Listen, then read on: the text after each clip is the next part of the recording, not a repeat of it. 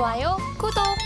오늘 저희가 또 준비한 아, 종가 베팅 종목 이야기를 관심 종목 그죠. 이야기를 해야겠죠? 어, 대표님께서 한번 먼저 이야기해 주시죠. 제가 일단 오늘 말씀드리고 싶은 것은 아까 거래대금 상위 종목에도 우리가 셀트리온과 알테오젠이었나 맞아요. 알테오젠과 유한양행이었는지 명확하지가 않은데 지금 제약바이오 같은 경우는 계속해서 올라올 가능성이 굉장히 높다라고 생각을 하고 있어요.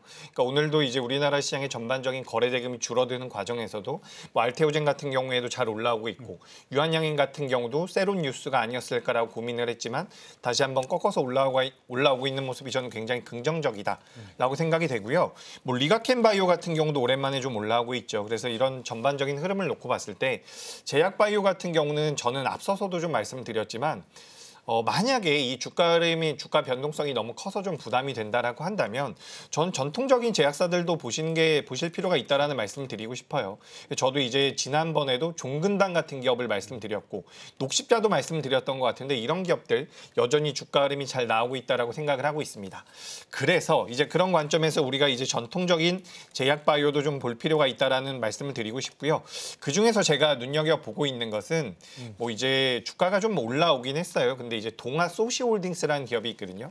이 동아 소시홀딩스 같은 경우는 최근에 주가 흐름이 잘 나오고 있는 동아 ST의 모회사입니다. 동아 ST도 잘 가고 있고요. ST팜도 잘 가고 있는데 이 회사들을 자회사로 가지고 있는 게 동아 소시홀딩스라고 보시면 좋을 것 같아요. 그리고 이 회사 같은 경우는 이제 항체 바이오 쪽에 대한 생산 시- 시설을 가지고 있기 때문에 추후에 이제 CMO 기업으로도 엮일 가능성이 굉장히 높다라고 보고 있습니다. 그리고 이제 뭐 자회사를 통해서 스텔라라 쪽에 대한 바이오, 바이오 시밀러가 올해 연말에 유럽에서 그리고 내년에는 미국에서 판매가 진행될 가능성이 높기 때문에 그에 따른 수혜를 받을 가능성이 굉장히 높다라고 판단을 하고 있는 부분이죠. 그래서 전 동아소시홀딩스를 좀 관심 있게 보시는 게 어떨까라고 말씀을 드리고 싶고요. 지금 월봉 기준으로도 그동안 굉장히 오랜 기간 조정을 받다가 고개를 살짝 들고 있는 부분이기 때문에 저는 계속해서 관심을 가져봤으면 좋겠다. 그래서 이제 저는 제약바이오가 전반적으로 긍정적인 흐름을 보일 거라고 생각을 하고 있는데 오늘 이제 전반적으로 우리나라 시장을 살펴본다라고 한다면 시가총액 상위 종목군들 중에서 삼성 바이오로직스와 그리고 또 자동차 쪽이 많은 좋은 좋은 흐름을 좀 보이고 있더라고요. 그래서 이제 자동차 쪽에 대한 관심도 좀 필요할 것 같은데 제가 슬쩍 봤더니 이제 본부장님이 자동차 쪽에서 좀 준비를 하신 것 같아요. 네. 그래서 저도 이제 본부장님이 준비한 오늘 종가 관심주, 관심 종목, 관심 섹터 한번 들어보고 싶습니다. 약간 공교롭게도 여러분들이 여기서 이제 아, 이 전문가는 A라는 섹터를, 이 전문가는 B라 는 섹터를 보고 있구나 이렇게 보시기보다 공교롭게 지금 두 섹터 모두 금리 인하 수혜주로 분류가 된다, 될 수 있다 이렇게 이해를 하시면서 저는 접근을 하는 게 맞는 것 같아요. 결국에 이제 금리 인하를 하게 되면 방금 이제 이재규 대표님께서 이야기하신 어떤 R&D 비용이 많이 들어가는 제약 바이오도 대규모로 자금을 끌어오기에 수월하기 때문에 굉장히 좋은 영업 환경 혹은 연구 환경을 만들어 줄 수 있습니다. 여기에 자동차 산업도 마찬가지예요. 뭐가 있냐면 우리가 자동차를 살 때 굉장히 비싸잖아요.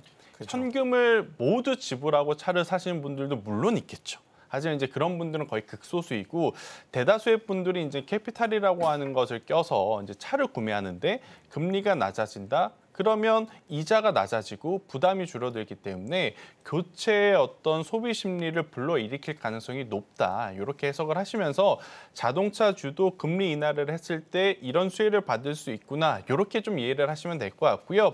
근데 이게 첫 번째라면 두 번째는 결국에는 전기차 화재로부터 발생한 어떤 이제 모델 다양화에 성공한 우리나라 완성차주들은 충분히 국내에서뿐 아니라 해외에서도 어, 성공할 수 있는 확률이 높지 않겠는가라는 생각이 들어요. 그죠. 우리나라 현대차와 기아가 하이브리드 카를 잘하고 있는 것으로 음. 맞아요. 알고 있는데 네. 여기에 대해서 또 추가적으로 좀 일단 우리나라 같은 경우에는 지금 현대차 같은 경우 전 모델에 이제 하이브리드를 올해 이제 적용을 한다고 2분기에 컨콜에서도 이야기를 했고 2분기 이제 실적 나왔을 때도 어떤 이야기를 했냐면 전기차 잘 팔리고 있습니다. 그런데 이번에 굉장히 좋은 호실적을 낸 데 있어서 가장 중요했던 것은 하이브리드였습니다라고 이야기를 했거든요. 그죠. 그래서 앞으로 우리 현대차와 기아는 전기차도 물론 신경을 쓰겠지만 하이브리드 쪽에 굉장히 많은 투자를 하겠다라는 이야기를 했기 때문에 실제로 그러한 어떤 영업 환경이 흘러가고 있는 상황이잖아요.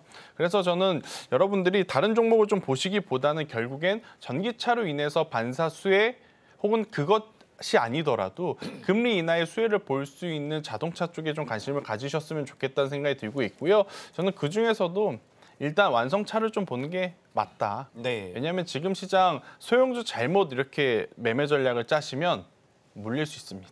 아, 변동성이 너무 크죠. 그렇죠. 그래서 저는 오히려 어, 자동차 사실 부품주를 제가 그동안에 꾸준히 좀 말씀드려 왔는데 8월달 시장을 보면 부품주 쪽보다는 대형주를 좀 먼저 하시는 게 맞다 생각이 들어서 현대차를 좀 관심 있게 보셔야 될 것 같고요. 아, 현대차, 기아, 뭐 자동차 부품사는 제가 말씀드린 두 가지의 긍정 포인트도 굉장히 좋지만 또 하나가 더 있습니다. 인도 시장이라고 하는 새로운 시장에서의 어떤 성과를 좀 기대해 볼 수 있는 모습들이 굉장히 많은 상황이기에 저는 자동차주를 좀 보실 때는 단발성으로 조금 시세를 노리는 매매를 하시기보다는 장기적인 투자의 관점으로 한번 우리가 믿고 베팅을 해볼 수 있지 않겠는가? 저도 어, 현대차, 기아 혹은 자동차 산업을 볼 때 아, 전기차가 이렇게 되면 조금 찝찝한데 라고 생각할 수는 있어요. 그런데 전기차만 그렇고요. 내연기관차 잘 팔리고 있고 이걸 우리가 수출 데이터 실적으로 확인을 했고 하이브리드는 어, 아마 남자분들 혹은 이제 차를 많이 이제 알아보신 분들 알겠지만 음, 플래그십 모델이라 그래서 기존의 내연 기관보다 비용을 뭐 천만 원, 천오백만 원, 이천만 원 더 주고 살 수 있는 모델이 아니라 많으면 500, 적으면 300만 원 정도 더 주면 살 수 있는 어, 기종이잖아요. 그래서 너무 자세히 알아보신 것 같아요. 혹시 그래서 차 변경하실 저도 지금 고민 중에 예. 있거든요. 그래서 어, 대다수의 소비자들의 어떤 소비 심리를 저는 충분히 끌어낼 수 있는 게 하이브리드가 아닌가라는 생각이 들어서 저는 자동차 쪽을 보신다면 현대차를 네. 보시는 게 지금에서 종가 베팅에서는 가장 확률이 높은 기업이 아닐까 이렇게 한번 네. 정리해 드리겠습니다.